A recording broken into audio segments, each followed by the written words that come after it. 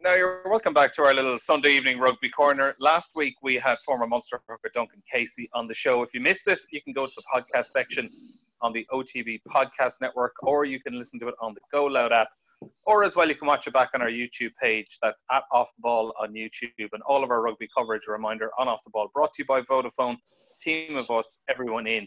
Now, this week we have another hooker joining me. I'm delighted to welcome along a former Leinster and Ireland hooker, a British and Irish Lion as well in 2005. Shane Byrne is with us. Shane, how are you? I'm well, and yourself? I'm not too bad now, Shane. Not too bad. Sitting at home at the moment. This is this is the new normal. This is how we're doing things. this is how everyone's life nowadays is. Although we're a bit strange. I'm in the waste management, so we're we're classed as essential services. So I'm in the office as we speak. Uh, yeah, so we're still busy. Yeah, God knows what we'd be doing if you weren't doing your jobs. The uh, everything yeah, would just correct. be piling up outside the door. Yeah, it'd be a little bit smellier, all right. Yeah. so life is normal enough for you at the moment, I suppose. You're you're getting yeah. out of it, like you are going. Yeah, getting out. Uh, like the yeah, like all the anything that's perceived as been important to our business, I can still get out and do. And um, you know, there's guarded checkpoints everywhere. Particularly, I'm down the sunny southeast, so you know, anyone, anytime there's a weekend coming up that they suspect uh, caravanners and holiday homers are going to be trying to sneak in down from Dublin. Uh, there's checkpoints all over the place. But uh, yeah, it's normal. And my wife is in the pharmaceutical trade, so she's working a mix in between home and into the office. So it's been yeah, it's it's normal enough, you know. Although I've twin 17 year old daughters at home, which uh, yeah is challenging enough keeping them entertained. So you're happy enough to be honest going out into the office, I'd imagine you. I have no problem with that whatsoever. it's actually a reasonably good time. And added to that, uh, I was due a haircut before it all started, and now I can't, which I'm absolutely delighted about because uh, I'm able to grow my hair way longer than my wife would ever let me to normally. So I'm happy out. How, how short does a Shane Byrne haircut actually go, though? Oh, well, the same woman has cut my hair since I was 80 and um, she I don't really say anything to her anymore. I just sit down, she cuts it, and that's it. So it gets it gets it never really gets short what most people consider short, but it'll be short for me. But then I don't see her again for you know three months, maybe more, and uh, she just saws it again. That's it. Certainly had she certainly hasn't put her kids through college with the money she's got me or from me, should I say, uh, cutting my hair. So you're not like a lot of the people at the moment who are uh, contemplating going for the old buzz cut. I'm getting towards that territory now. I'm I'm a few weeks past my usual spot, and things are getting a little bit they're getting a little bit dicey at the moment. Uh, yeah, I've seen some horrendous cases out there now of a few people, but there's quite a few people actually starting to lean towards the mullet, and they're not too upset about it as well. So I, I this could bring in a, a reverse way of getting the mullet back into fashion. So yeah, I'm happy enough. so you're you're going to be a style icon when all this is over. You're going to be talking about how you were you were setting the trend 20, 30 years ago. Uh, you mean I'm not a style icon already? That's devastating news. uh, quick question for you: How uh, what would you give to go and watch a game of rugby at the moment? Yeah, it's it's it's mad, you know, when you do become a, a, a, supporter again, and then you really get into it, and, and you know you commentate in a few games, and then when it disappears over years, small ears with the old earphones. Um, when you get into you know going to games regularly again, it, it's amazing the the you know how much you do miss it. You know, and it's it's it just it's the atmosphere around it. It's it's still the you know being a player you still you know you're looking at a different game than most people because you go look if i was into that situation what you would be doing and and uh, but it's the thrill of the event that is certainly missing you know what i mean and it's it's amazing that there's absolutely nothing going on. It's not even like a, a, an off season. It's just there's no no sport at all to to feast your brain on whatsoever. But you're back when rugby was still going. You know, you, you do get the boots on every now and again. You do still tug out for, like you would have been playing in the uh, the charity game at the Ireland Legends against England uh, yeah. Back in back in London towards the end of February as well. So end of Feb, you still yeah. get out now and again as well. They must be they must be great games to be involved in. I'd say. Ah, they're great fun. Yeah, I organised them with Len Deneen uh, up for Munster, and um, they're brilliant. They're brilliant. Uh, look, they're they're a charity game. We've raised over a million sterling so far for charities, and they've been a huge, huge success. Um, but it's a great excuse from the personal side of, of it to get together with guys who you just would never see otherwise, you know, and you know, a lot of the, the ex English internationals have really grabbed it and, and are really Mike Tindall, I suppose, to, to the fore. Martin Corry was one of the original, Jason Leonard. And these guys, like, from year to year, you literally wouldn't see them. So, like, this is a great reason to get together for the weekend. And look, it's for a great cause, but the physicality is still there. You know, you still have to do a bit of panic training running, going into it. Normally, you do, you're looking at the calendar, you're going, oh, Jesus, this is it's two or three weeks away, and you have to absolutely train like a lunatic so you don't make an absolute fool of yourself out there. And um, you know, but it's they're still enjoyable, and it's still, you know, you still want to win the game. You still hope that your body's able to to do it, and it's amazing. One of the first things you you you learn when you're playing rugby as you get older is that your body spots or your mind spots something happening and your body just doesn't react. You see this guy come, you go, Oh, I'm absolutely going to, oh, geez, he's gone past. your body just didn't react at all. And uh, that's the that's the biggest thing. And I still try to play a couple of games for my local club here, Arklow, um, during the year. And um, yeah, just thankfully the body is is is touchwood still behaving itself. So uh, it's just a case of losing a few pounds that I found along the way and getting into a shape where I can still run around a little bit. When you're playing in those, then as well, and you know when the opposition maybe might have a player that you know he's probably only retired in the last couple of years and stuff. In yeah, in reality, he's still fit as a fiddle. He's probably as close to you know a rugby player as you could possibly get. And you're there you know, you've lads in their mid late forties. There might even be a couple of lads in their fifties. Yes. I'd say. I imagine. old Uh, is what you what- mean. What's yes. that? What's, that like?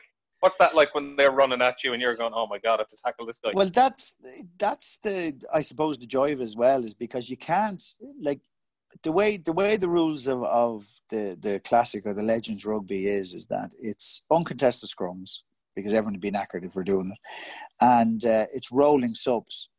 So the main reason for that is that guys can you know they're not as fit as they used to be and they can come off and get on, but after that it's full on. So you cannot play it because of the exact reason you said it. You can't play it um, you know, half-assed. You can't play it as if you know because there could be someone, as you say, who's you know late thirties, just finished, still is professionally fit, and him running through or at somebody is going to run full whack whether he thinks about it or not. So you have to hit everyone with everything that you can, every opportunity you get. But the only difference is, which is great, is that there's no anger. There's no anger in it. You know what I mean? Where everything you did in the professional game, particularly in international rugby, you're you're playing with just keeping that redness down. You're you're full aggression. You're full trying to knock the socks off them and do whatever you can to them. Whereas this, you still have to tackle them. You still have to do it as hard as you can. You still have to rock them out, but there's no anger in it. You're picking each other up off the ground afterwards, and you might get an odd good hit, you know, things like that. But that's that's the you know that's the joy of it, and that's why everybody. It's hugely popular. Like you could, if you had the time, if you had the wealth, and the uh, you probably weren't married, you could spend your whole the whole year traveling around the world playing legends or classic rugby. Every tournament now has a has a, a classic tournament, particularly the tens. There's two in Dubai, Scotland. All the sevens have classic tournaments. You know, Las Vegas. It's it's absolutely everywhere. Classic rugby because people love supporting the players who they all know. They all know who these guys are. They've spent years and years and years um, supporting them, and now they've just stepped back from the the full limelight, and they can still do it. It might happen a little bit slower than they used to be able to do it, but the skills are still there, and the games are brilliant. Now, and I imagine then afterwards the the social element is incredibly enjoyable because you know you do get to spend a lovely evening with guys, as you were saying, who you might have seen for for twelve months Years. or even longer Yeah, in yeah. some cases. Yeah, And I would imagine it probably brings in an element that people love as well. Of it kind of harks back to the days before professionalism when there was, I mean, some might criticize it. There was a decent drinking culture around rugby, but there was a real social culture as well. but that's that's one of the, the funniest things in it as well is that um, yes it is. It's exactly as you say. The weekend is full on. In fact I, I might go over for a saturday game. I might head over on the thursday just to make sure everything is in order you know and uh, get a few warm-ups going into it. But we're we're which is a great thing and it's actually interesting to see. We're starting to get the first few guys now for the last few years of guys who've never experienced anything like that. Guys who went from school to professional rugby and never experienced any of the fun that we had at amateur days and any of the real socializing. You know even even the guys who came in you know into professionalism like Gordon D'Arcy would be one of the guys he literally went school professionalism but he was still you know professional with us that we still had the amateur attitude and we were still going on for a few drinks but there's a few guys now who've never experienced that like that like um, was playing with England uh, last time out, and um, he's obviously never experienced that, and they absolutely love it because the one thing about it, and people always ask, you know, about current rugby players, the breed of person that plays rugby is still the same person. You know, they still have the same point of view about fun, about messing, about having the crack. You know, they're still the kind of same type of guys, and given the opportunity, they all you know enjoy the fun and and the absolute pull and the piss that is hanging around a good rugby crew. And obviously, I imagine you would have had a lot of those those great days early in your career because I was saying Mm. so. 1995, professionalism comes in, and Yeah. that's when the provincial system kicked off. I imagine you would have been playing a lot of AIL in the years prior to that. With was Blackrock your club? Was it? Yeah, so I, I kind of I went straight from school, um, left in in 89, 1990, and then went up to Blackrock. And thankfully, within the season, I was playing. Uh, the AIL, AIL was just getting going, and um, yeah, it was a great, you know, coming up in the, the ranks back then, the amateur, it gave you a great respect for the game because they were always in the teams on the way up. They were the older guys on the way back down, and they really taught you respect for experience and the knowledge that they had in the game. Where you were obviously coming up thinking you were invincible and full of confidence, and a couple of the old Wiseland guys would uh, take would would take a few chunks out of you in training just to make sure you knew exactly where you were, and it just you know I think it it, it bred into me a great love of the game, you know, and and that it wasn't just something that I was ambitious in or or something that um, achievement. It was what you know my sole focus was. I actually loved playing the game because of those days. And yes, look, it was it was great fun. You know, after every game, you know, we we we got on the tear with some absolutely fantastic guys, and and we got to know everybody we played against, and we spent time with them, and um, you know, a lot of those things that it is a shame that that's lost in a way, but there's there's kind of nothing you can do about that. The way the game, the way people are now about the game, and um, but for me, it certainly gave me a great respect for the game, respect for the players around me, and your elders and your senior players, but also a real, real love of the game. So with that Blackrock team in the AIL at that time, when you would have been playing in the early and mid '90s, what what division would they have been up around at that stage? Who else? Uh, would Oh, have been- Division One, yeah, was Division, One, yeah, at the time as Yeah. well. Who, who Um, else would have been in that kind of crop? Oh well, oh that player wise, Mm. or that our clubs Player-wise. Oh yeah, you know of international like Alan McGowan was there, Brendan Mullen was still there. He was on his last couple of seasons. Um, Alain Rolland, Niall Woods, David Beggy, um, Martin Ridge, another international centre. Um, Paul Wallace joined in around the early nineties. Uh, Paul Flavin. Um, you know, it was an absolutely fantastic team, and and it was back when this was when Limerick was the real hotbed of Yeah. uh, of rugby back then, and, and and they were starting to spearhead the Munster, what became the Munster push in in Irish rugby, and um, you know, the the competition there was absolutely fierce, and we became one of the, I suppose, first teams. Now, look, there'd be loads of debate about this from the Marys and the Lansdownes and everything like that, but we became one of the one of the sides that really started to challenge every year. We never quite got there.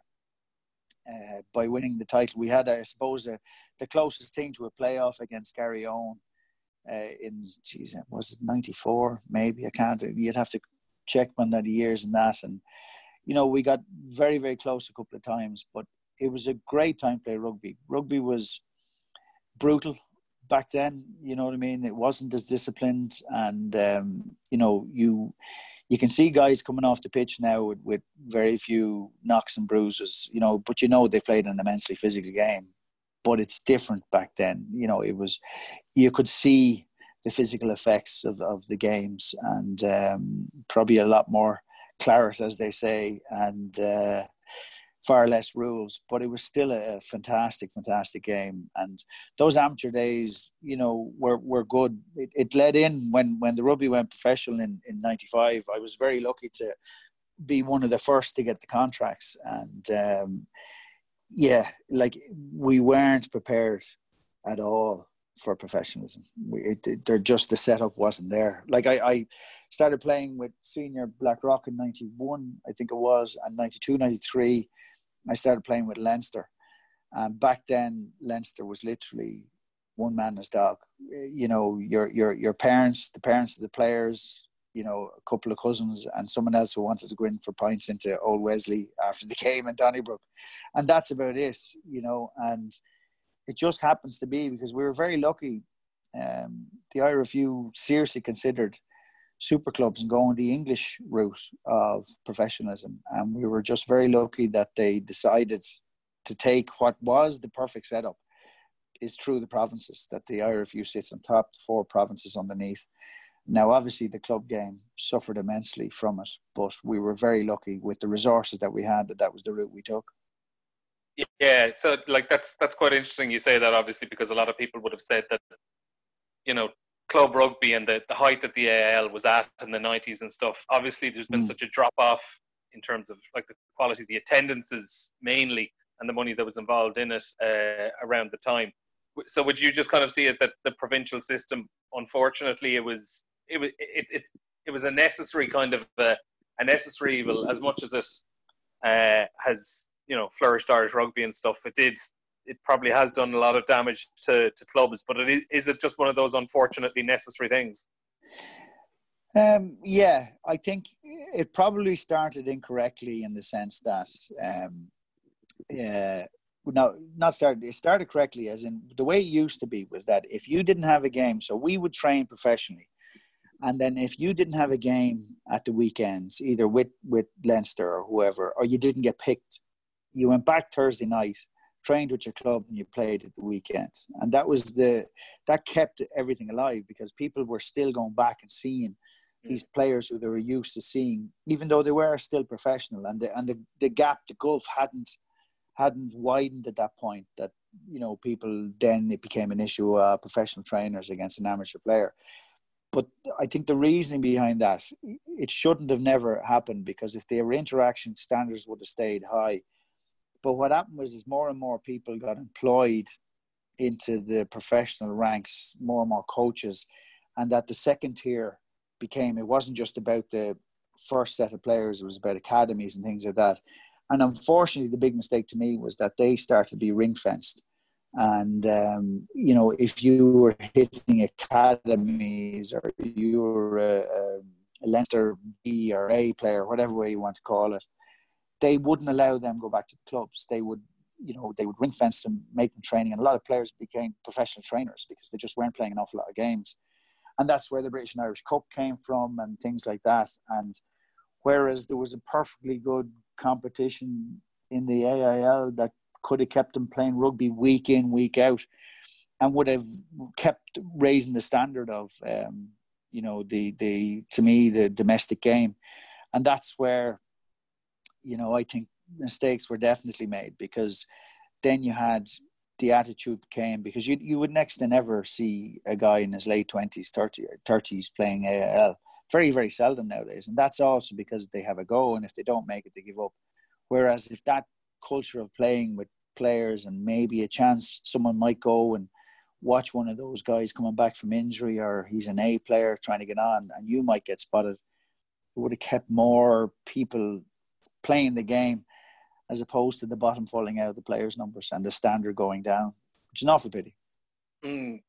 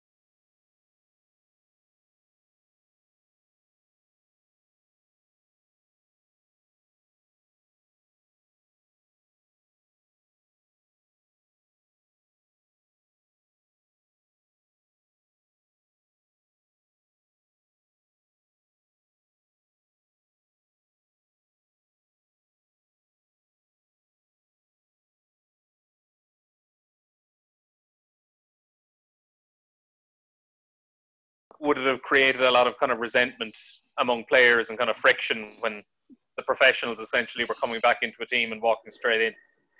Yeah, more so when it became, uh, uh, I suppose, a rare thing. Um, you know, when everybody was doing it, say in the early days, if there wasn't a, a Leinster game, we all came back. If if you know when squads got a bit bigger in the professional era, like anybody wasn't picked, they all came back.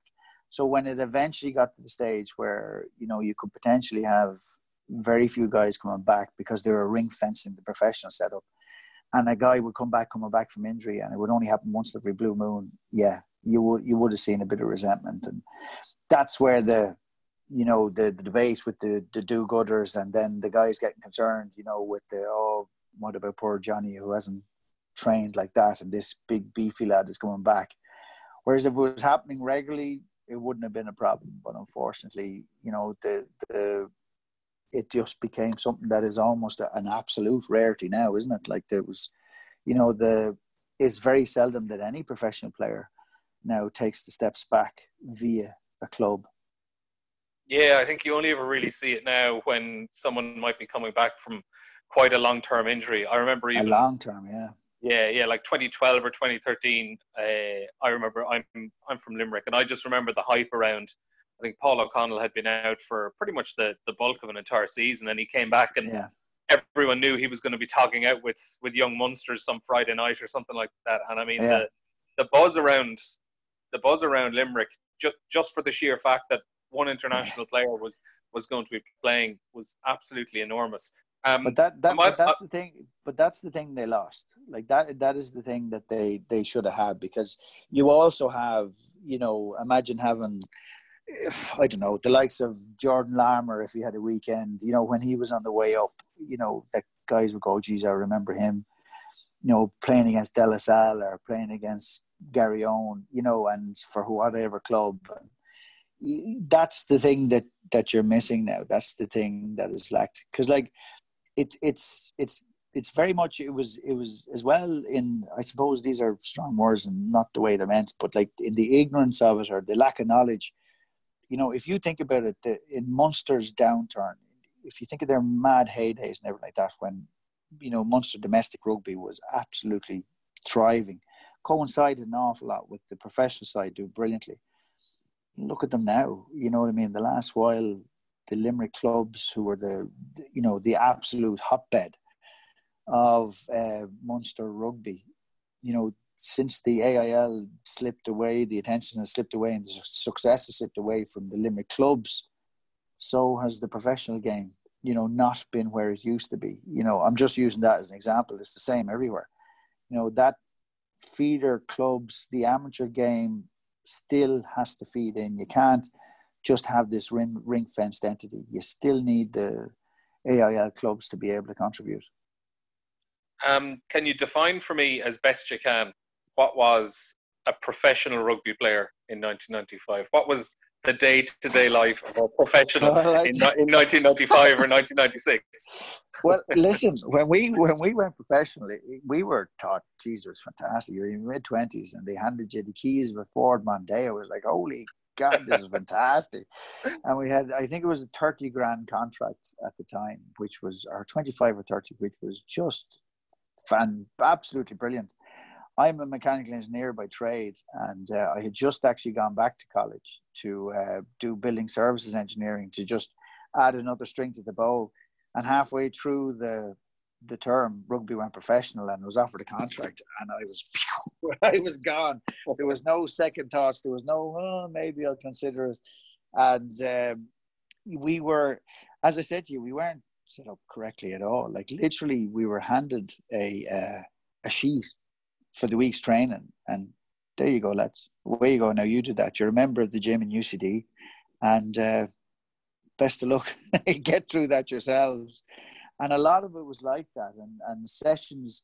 It took a long time for the Irish professional game to really get professional. Um, you know, we would you would get up and you would have a program to do throughout the day uh, and we would start hang meeting together so that it would get you out of the bed so you wouldn't just let your day slip away and you might have trained in the evenings or afternoons and um, very very disjointed very disjointed but um, it took once it started to get a grip though you know once the guys got a couple of seasons into it and um, you know it, it, i think we made a lot of progress in the late 90s i i, I think from you know, where there was a bit of begrudgery in the in the early years with the prawn sandwich brigade, as as uh, Roy Keane would call them, that um, they, you know, it just it was still the case that you would arrive to a game and you know you'd be at the hotel and it's still professional and you know 97s and stuff was Six Nations 97s I remember and I remember four buses going to the game and the first three buses were for the Alligadoo do's and the wives heading to the game. And the fourth bus was for the players to head to the game, you know, and uh, they were going off whining and dining. And like it took a long time for that. And I think, you know, not skipping over the years too much, but I think a, a great watershed moment was was the loss uh, to uh, Argentina in '99. I think that was a real watershed moment in Irish, in the Irish opinions. But like, I was very lucky where look, I had had I was on the last great amateur tour, as I call it, uh, to Australia in '94, which was you know very very hard tour, uh, long, and but like if you weren't playing the next day, it was compulsory on the tear. Absolutely, dirt trackers out you go, and then you'd be up at eight o'clock the next morning for no reason to do a bloody fitness session. It was madness, absolute madness. And then um, you know the the game uh, was in the I was in the World Cup in '95. I, I came out after a week, and absolutely amazing experience. And as you know, then the Southern Hemisphere teams had gone professional really at that point, and we could see how far behind we really were. So when we actually went professional, um, you know, there was a huge amount of ground to make up, massive, massive. But they started to put the structures in place it's funny you talk about you know being on an Irish tour in 1994 and things like the 1995 World Cup because like it, it's 2001 when you actually finally get on to, to make the, your test debut at Ireland. Like how long how long had you been involved in squads? Like were you were you regularly being involved in the, the actual the day to day training sessions with Irish rugby? Yeah, yeah, yeah. yeah. Without yeah, getting never, to, to, make that never, test appearance yeah, I first got in the Irish squad in 1993, wow. and um, was never out of the squad for any length of time. I think I'm one of the highest capped A players of all time. I actually have a B cap. Would you believe? There's, uh, you know, when it went from Ireland B to Ireland A for whatever yeah. bloody reason they called it that, I have a B cap. I have a, a, a sub Ireland B. I don't know what the hell year that was, and um, the yeah, it was a long time. I was I was in the squad the whole time. Uh, you know, out every now and again. I got dropped twice because of my hair.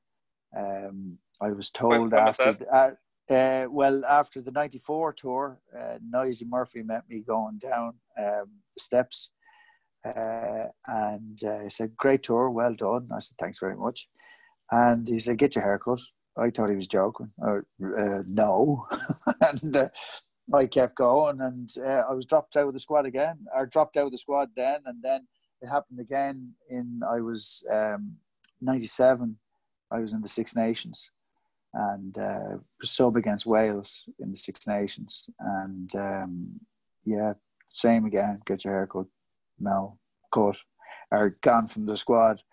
But I tell you, uh, you know, a long time between '93 and 2001, and um, towards the end of the '90s, you know, as I saw, like, you know, there were several people. Like, obviously, Keith Wood was always there, and um, uh, there were loads, Terry Kingston and Ross Nesdale and Allen Clarke, and you know, you name it. There, it wasn't just the one person. Like anybody was getting ahead of me, and um, I was playing consistently with Leinster the whole time. Now, obviously, times I was playing bad, times I was playing well, but um, yeah, I was getting very concerned towards the end of the nineties. You know, I became very, very obsessed um, with getting a cap, and um, you know, thankfully it, it it came around. But you know, towards the end of the nineties, I was thinking, Jesus, I should have cut my bloody hair. You know, I was starting to think that maybe it had passed me by. You know, and uh, you know when they say now, like a lot of the guys, you know, address your feelings and all that, like.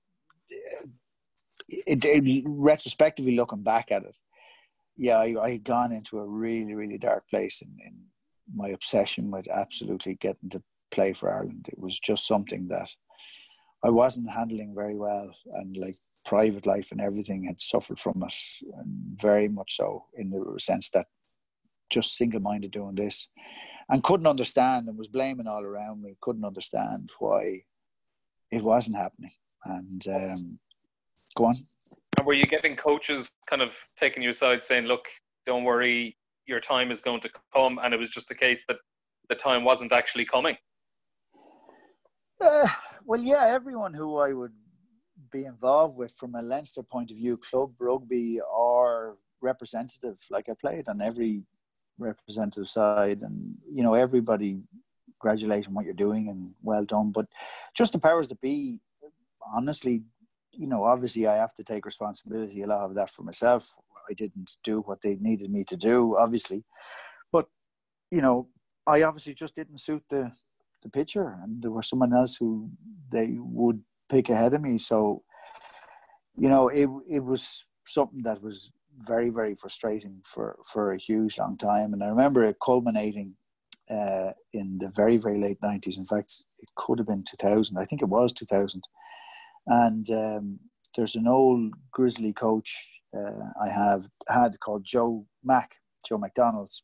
Uh, guys from club rugby would know him over the years, and um, he, I had him on the 19s and stuff like that, and he was one of these real old, you know, taught me never take a step back, always keep going forward, never show pain, you know, take punishment, keep it going, you know, one of those kind of coaches, mm. and. Um, very very abrupt very straight talker and i was um, we were been forced if you remember around that time uh, two-handed throwing came in into the lineout yeah do you remember yeah now i, I don't remember when it came in but i actually yeah, remember yeah, it's probably, be, it's probably before club. your time yeah, yeah we did a classic game club um we did a classic game club a couple of months back yeah, and yeah it was from Ireland France in 2000, but you could actually see yeah. the French hookers at the time they were still reluctant to still go away from this one yeah. pro. Yeah, yeah.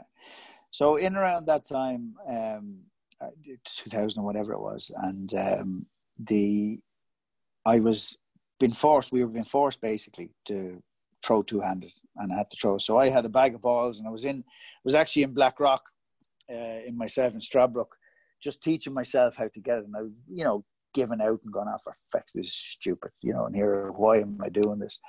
And the old coach um, came, Joe Mack came along and uh, he said to me, uh, what's up with you? You know, because see, obviously I wasn't too happy. And uh, I said, oh, jeez, look, I'm just, you know, teaching myself this stupid two-handed throwing thing. And, I said, look, I don't know where this is going. You know, I've been in the Irish squad for seven years and um, just can't get that step up. I'd been on the bench in Six Nations. I'd been on several tours. I'd been in a World Cup. Just couldn't make that step. And, you know, what ifs and could have, and oh, those terrible guys, they won't pick me, and that, that, that, that. And uh, he said to me, What's the one thing that you want? I said, What do you mean? He said, What's the one thing you want out of your rugby career? And I said, I just want to play once for Ireland. I just want to play once. And then I can finish happy. Because I said, Look, I'm thinking of finishing. I, I had the family business at home. I said, I'm thinking of quitting. So then he asked me that question. I said, look, just once, just play for Ireland. And he, in uh, along with several expletives, which I won't be repeating here, he just said something to me very direct. And he said, if you quit, you'll never be capped. He said, if you keep going, you never know. But stop worrying about it. Because the only thing is for sure, if you quit, you'll never be capped. And he said it a lot, as I said, a lot more firmly than that. But it was, and then he turned around and walked away in his in the manner that he does. And um, I remember standing there with a ball in my hand, and it was just like a, a light bulb moment going on in my head, and it was just stop worrying about the things that you can't control. Stop, you know, blaming other people. Stop just being so consumed with something. Just make yourself as good as you can possibly be. If opportunity knocks, and uh, just make sure you're ready.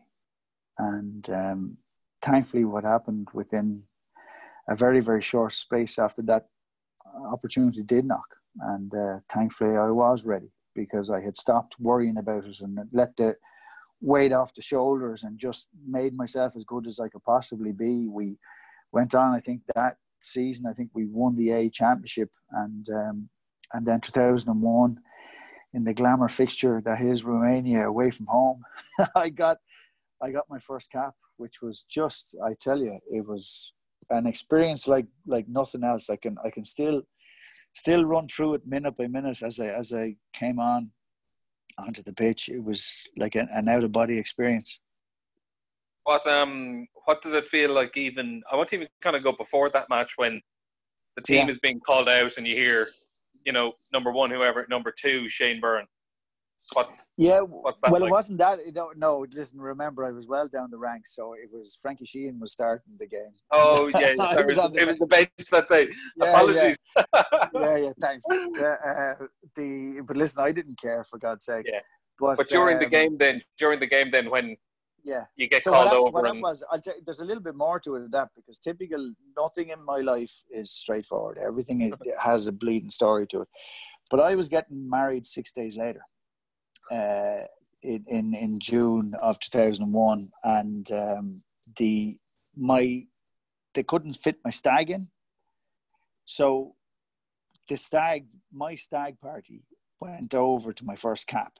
So they were having my stag party while I was in the hotel getting ready for the game. So there was about 16 of, of my gang went over there, and uh, which unfortunately was a bit odd, uh, included my mother and my sister. It was it was a weird stag, all right. And uh, they were off having having an absolute ball. And um, when I was just getting ready, and, and I'd basically been told Warren got this is one of one of Warren Gatland's last games. And they just said, "Look, it's, it's going to happen." So I was getting huge congratulatory things from loads and loads of people that it's going to happen. But I still couldn't believe it myself and was very concerned about it because um, in the game, I'm rambling here a bit, but in the last game before that against Cork Con in the AIL, I had done a, a grade two tear on my medial ligament in my knee and a grade one tear on my uh, ankle ligaments on the opposite leg. And so I wasn't exactly in great shape, but uh, Ailby, who's the physio, said, "Look, if you do, if you can take the pain, I'll get you through it." Because there was a huge, you know, people just everybody was hoping it would finally happen. So my stag, my stag were over on the other side of the pitch. Now this is Romania. It's a sixty thousand seater stadium uh, with those tiered concrete uh, levels. You know what I mean? No, no covers on it. Yeah. Very, very hot. And uh, there were about, well, I'd say in total, maybe a good 400 people at the game You know I mean? Just really, rugby was huge at the time. And um, I remember uh, Warren's into the second half said, "Okay, you're on." And um, so it, I, when I finally got onto the pitch, the I just I, I can honestly I can feel the emotion of it. I can see myself playing. That's the way I remember it. It wasn't that I was down there playing it. It was I was having this out of body. I can remember looking at myself going into the first scrum and you know just an absolutely incredible sensation that look it had finally finally happened. And um, added to it was the uh, my stag crew had been obviously enjoying themselves as they've realized beer was 20 pence a pint and uh, they were very boisterous over the other side of the pitch and where was the first line out I had to throw in my into yeah, in my international career was over directly in front of them, directly in front of them, and it was the first time that they had been anywhere near quiet for the whole game. But thankfully, I, I threw, threw it. I listen. Since then, I've thrown in front of eighty thousand people on my own line, been two points down in a game or up in a game, and I've never felt pressure like that in all my life with having family and friends looking at you. But thankfully, Mick Galwey caught the ball. We were all happy. Every everybody won, and yeah, just such a relief. Such such a I cannot tell you the relief after when it sat into the change room and, and it just dawned on me that you know finally I could call myself an Irish international. It just was an, an absolutely amazing experience. And in terms of your own game, then did like from what you can see on the on the fixtures list and stuff, it seems that from then from well, I suppose maybe from the the Six Nations the following year, you were pretty much a permanent fixture, either starting or coming off the bench. Did did mm. something kind of click for you on a professional level once you actually managed to get out onto the pitch and play in a test match? Um, well, I suppose not talking flippantly about it, but because of the conversation I'd had with Joe Mack and what they'd done, I was ready. You know, I, I, I was ready. And um, I had made sure my skill set was exactly where it needed to be. I, I always made sure I'd be one of the hard working, the hardest working people on the pitch and training and wouldn't be happy with something unless it was done exactly right. You know, a lot of the guys in Leinster would probably call that that's just grumpy, and um, you know, but that's that's the way it was was was pure and simply um, just the fact of I was so hungry to get it that the standards that I wanted to everyone else to do. I was very much in the in the area of like if one person does it, everybody should do it, and um, you know it was so when we went in and I finally got into the squad and we were involved in a great period of rugby there, and we had a, a really young team that was um, made up of a, of a lot of really really good players, and it just was the right time for somebody to settle into a team and, and you know everybody wanted to be successful. And it was the you know Eddie O'Sullivan was became the coach and everybody moved on. But from personal point of view, I wasn't scared of working. I had changed my game several times over the years from ball carrying to not ball carrying and, you know, just workhorse stuff and, and took over the, the, you know, the line out. I'd called every line out I'd ever thrown into and we just, we just made sure it worked. And it was a, it was a fantastic time to be involved, um, you know, in the game in the Ireland jersey. And I can't imagine then when you were out on the on the pitch in Stradbrook, practicing those lineouts, wondering in your head, should you call it a day sometime? I can't imagine you would have thought within a few years then, not only are you playing for Ireland, have you played, you know, are you getting 40 plus caps, but you get to go on a Lions tour in 2005. What was, what was that oh, call like? Yeah.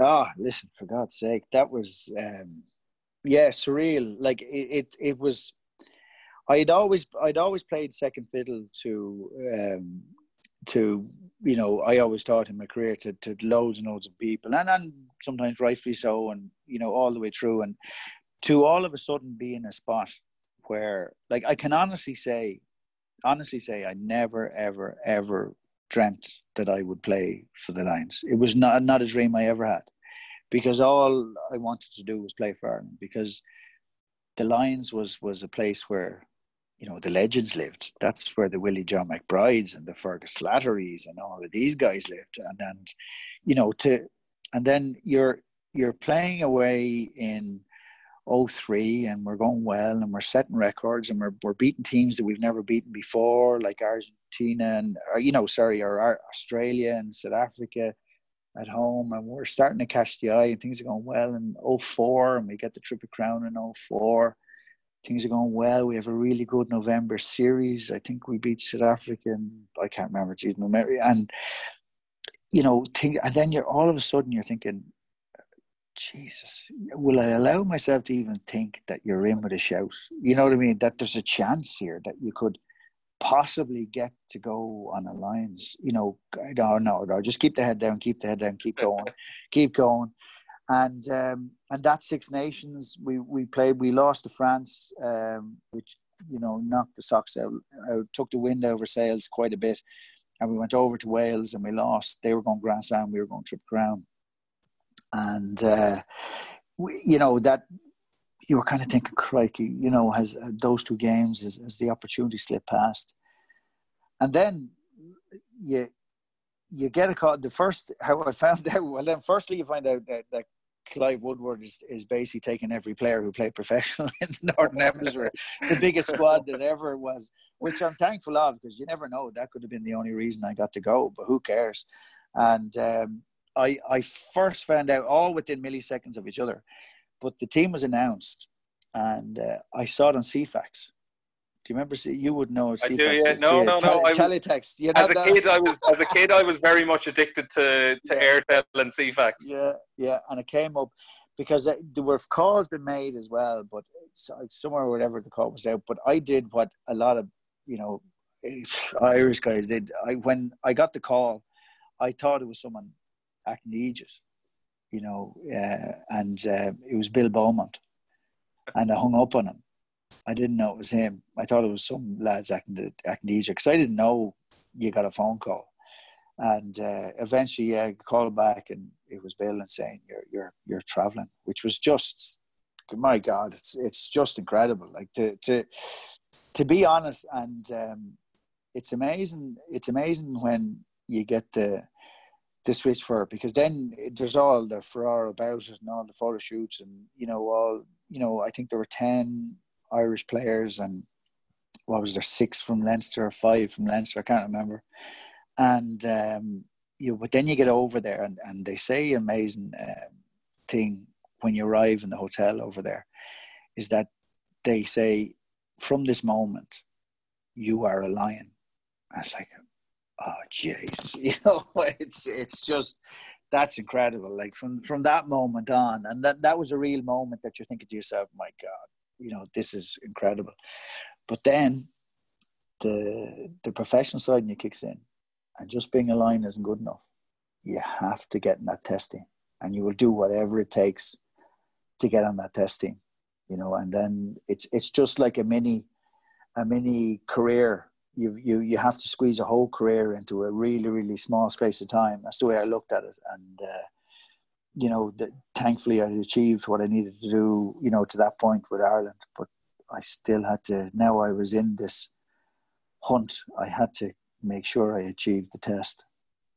Yeah, and and as you joked, kind of when we first brought up the Lions there, Clive Woodward picked an utterly enormous squad, and you know, you're kind of you're kind of joking. Like, are are you are you thinking at the time, like, you know, God, I'm here because he's picked every professional rugby player he's playing. But is the fact then that you actually are involved in the test team and you like you featured in all three tests, does mm. that kind of put a bit of reassurance into you that you know what I'm not just here because he's picking everyone. I'm here because I'm actually good enough to be here.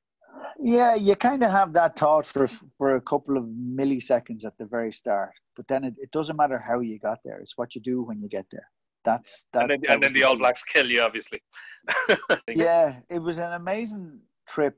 That, that you know, it was such a massive, massive squad. There were a lot of very odd things in it, and a lot of amazing things. Like, oh, look, it's a Lions trip. It was still absolutely amazing. But the, you know, there's a couple of errors in it that Clive Woodward made a commitment to every player, that you would all get the same amount of time on the pitch before he picked his test side. And that was a mistake because he kept doing that almost right up until the tests. And what happened was was that the test team never really played together at all, right the way up. And then he ended up just reverting back to the majority of the team that he could pick that won him the World Cup in 03 with a, with a splatter of, of us's in it. And um, the team had no continuity, anything like that. And, and a bit of panic had swept through the squad from paranoia, from uh, New Zealand spies, and you know, from my own point of view, they changed the line out calls the week running into the first test, which was an absolute, absolute disaster. And uh, I knew when I called the first line out in the first test, and I'm looking down the line out, and particularly at the guy who was meant to be catching it, and I'm looking at a blank face looking at me, and I thought, oh, we're in trouble here. And unfortunately, it was the 10 lineouts I think we lost, which I've never done in my life.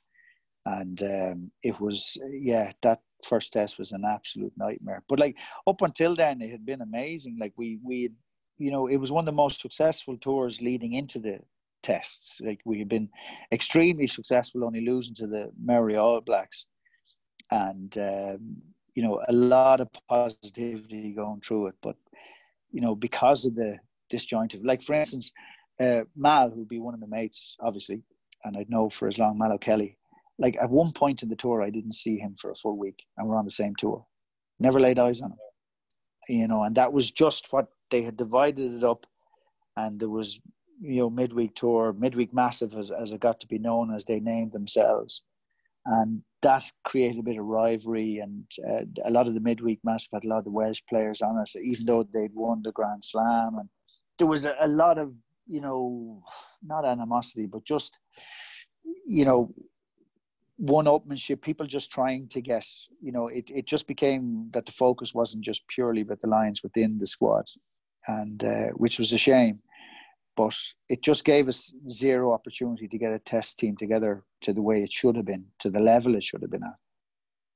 Mm-hmm. So on the pitch, a bit of a disappointment, but the fact that you're there and you know I imagine having the jersey. Do you still have the jersey at home? Ah, yeah, absolutely. it hasn't gone up though. Yeah, no, I haven't. I haven't. The rugby career hasn't settled with me just yet. Those demons are still there, I suppose. But um, the yeah, an absolutely amazing experience. Look, I, you know, I I'm very well aware that look, my whole international career was was four years long, and that was it.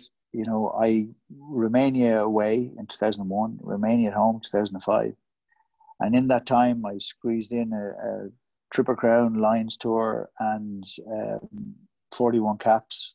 I, you know, I'm a very, very lucky man. Um, I would have loved to have added more to it, but unfortunately, that wasn't to be because um, I was, you know, going through while on the Lions Tour um, a very uh, unwanted um, split from Leinster, which was um, you know really really hard thing to go through. Mm-hmm. And obviously that led to uh, a final question, I suppose, before we wrap it up. I moved to Saracens, yeah. where you you capped off the last couple of years of your career. I imagine, as you hinted, they're very very difficult to leave Leinster, but uh, had you other options on the table? Was it nice to to experience something a little bit different, maybe for the last couple of years? Um, no, I would have preferred to stay with Leinster. Um, it was something I didn't want to do. I'd been there for 14 years. I had reached so many milestones with Leinster. I never wanted to leave, but unfortunately, as I said to you, we said a long time ago. I in contract negotiations, we I had never been a big player to get a, a decent wedge or anything like that. Always sitting behind everyone, and when my contract was up at the end of the 05 season, having just been selected in the Lions, I was offered a 30% reduction for a one year contract, which I just couldn't take. I had new family. Uh, you know, I was hoping to get the first opportunity of getting a decent contract. And that just didn't happen. And I actually went into that. I couldn't believe that I was going to sign with someone else that I played the, the first test uh, unemployed. I, I, I, hadn't signed for Saracens. I just didn't want to go. And uh, they were great people. The the Saracens people, I knew quite a few of them uh, through different routes. And Mike Ford was obviously out there, was coaching as well, and Richard Hill was there. And um, you know, didn't regret picking that club as opposed to anyone else or Wasps or anything like that or any of the other clubs who were there in France or whatever. But it was just the wrench from Leinster was was massive. I, it was it was horrible leaving, and uh, so the first year over there was hard, very very hard. But the second year, in which nobody, I didn't realize back then, and no one had really talked about it, that really, if you leave Leinster, you leave Ireland, as we all know now, if you leave Ireland, you're, you're more than likely park in your international career, which I didn't know, and no one had really said it to me. And, um, you know, so that was hard in the first year. But the second year was good, you know, settled in, got over the, the horribleness of the move to start with. Lived in a fantastic place. They were, they were a really progressive club. We know we know the, the extents that they brought that to now. But um, they know, look after they, their players. They, basically, they look after their players. they do, but like that's you know that stems from the goodness. Now they took it too far, no doubt. But they they even when I was there, uh, they they were madly intent on taking care of players after rugby they were making sure that you were set up. The owners owned a myriad of companies, and if you had any interest in, in anything that they did, they really made sure you were set up that when, if or when you retired, you'd be ready for what happened afterwards. And and that obviously rolled in and became what it became afterwards. But even back then, they were before they became the behemoth that they were. They they were still very much intent on that. All right. Well, Shane, it's been an absolute pleasure having you on for almost the guts of an hour at this stage. Yeah, very sorry about that. Time. Sorry about whinging on at you for ages. Yeah. but it's been a pleasure having you on the show, and uh, stay safe, and all the best to you and the family over the next while. Take care, guys. Stay safe. Yep. So that's Shane Byrne, former Leinster, Ireland Lions, and Saracens hooker as well. Uh, if you missed any part of this, you can podcast it all as well on uh, the OTB Podcast Network. Just check it out on offtheball.com or on the Go Loud app as well.